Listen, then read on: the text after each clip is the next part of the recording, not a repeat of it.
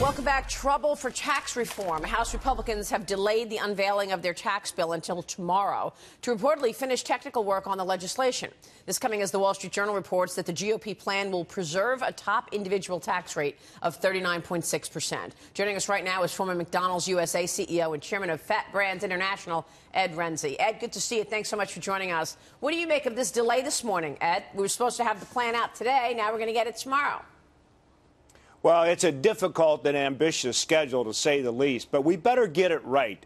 The middle class in this country hasn't had a salary increase for years, and we're taxing the daylights out of these people, small businesses, which can double in size if they have access to capital and a decent tax structure. Uh, we can create jobs, and I think Trump is absolutely right about this.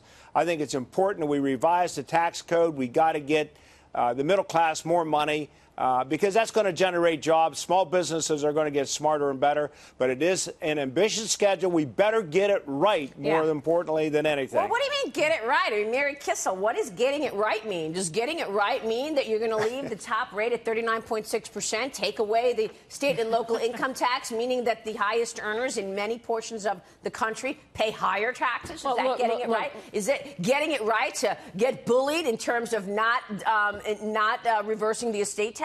Well, look, the Trump administration is basically mimicking what the Democrats are saying, which is playing class warfare. Somehow it's bad to get rich in America, Maria, and we can't cut the highest taxes on the people who are employing other Americans. So that's bad. Uh, there's not talk of a corporate tax cut phase in. That's bad. I think that's what you're seeing. Crazy. Look, look I think what you're insane. seeing on Capitol Hill is Republicans are just they're, they're losing it.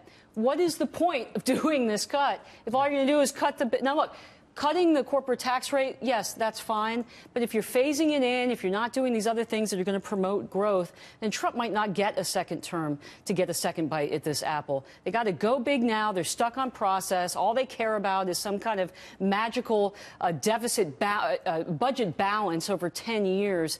It may or may not happen. They should set that aside. They should go big, give Americans a tax yeah, break. What happened yeah. to the trickle down economics, Dagen? And they deserve to be, the Republicans deserve to be lambasted all day long until we're blue in the face for not having their acts together. Yeah. They have had years. This is the the moment they've been waiting for. Right. Where is this they a could, surprise that New York, Connecticut, New Jersey's pushing back on the local so state? They, no. that, are you shocked by that? they have been shamed into basically buying and regurgitating Democrat talking yeah, points. They, and I, I, want to point out because you guys in the editorial page have an editorial just about Once the child again, tax great. credit.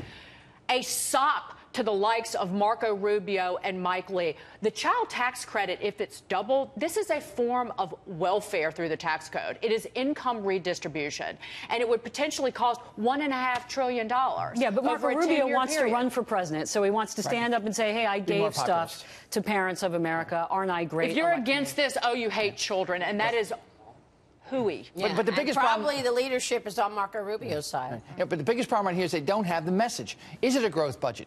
Are we taking people and bringing back to the United States for onshoring? Mm. Are we going to grow this economy? What's the message for the American people? They, it's all muddled right now. Yeah, that's, that's a mistake. Ed Rensi, stay right there. We'll be